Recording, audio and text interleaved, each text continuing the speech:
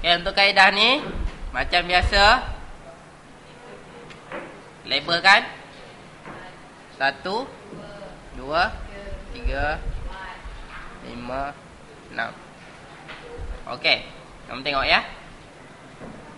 Sekarang ni dalam uh, radial method dia ada dua.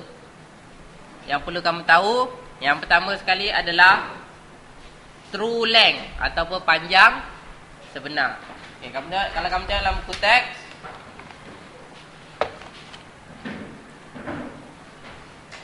Okey. Sekiranya Okey, sekiranya pandangan atas kamu ni Okey, kalau kamu tengok yang ini cross yang tengah ni tidak kena pada bucu. Faham? Tidak kena pada bucu. Kamu tengok? Dia, dia cross tengah kan? Kalau tak kena pada bucu, kamu kena cari pandangan uh, panjang sebenar. True length. Nampak? Kamu kena pindahkan titik satu ni ke sini. Okey. Untuk kamu ambil ukuran dia.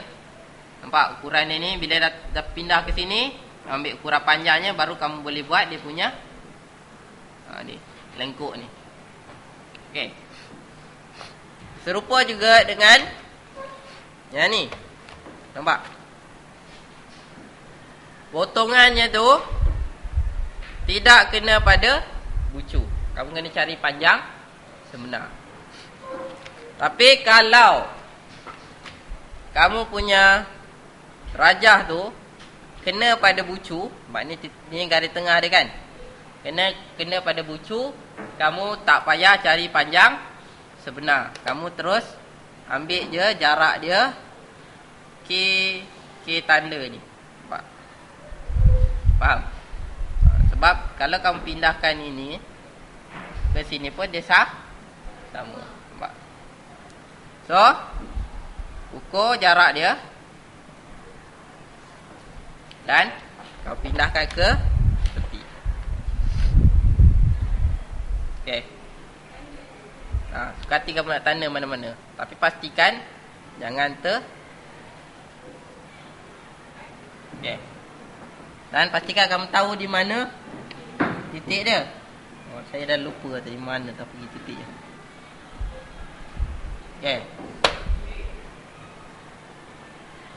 Tu, betul tak? Panjang dia. Pindahkan. Eloknya kamu buat titik dulu. Okey. Buat. Kemudian buat dia punya ke claim. Okey, okey. Okey. Okey, kemudian kamu nak kembangkan dia berdasarkan titik satu ni adalah K K tanda. Betul? Okay, so jarak dia kedua ukur jarak dia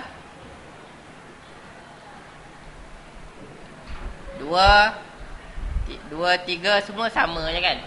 Ha, ini bagi raja yang mudah so kamu terus buat je. Dua tiga empat lima enam satu balik. So siaplah kamu punya raja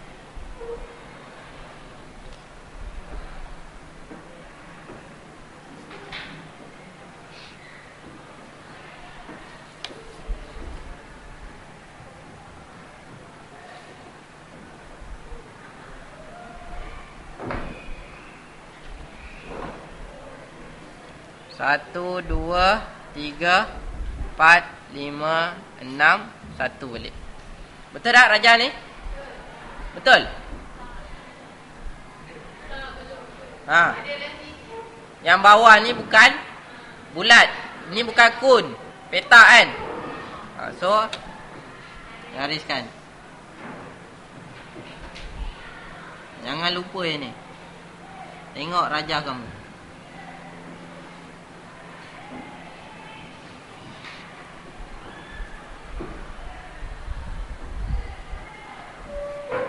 Okay, ha, ni baru dah Siap.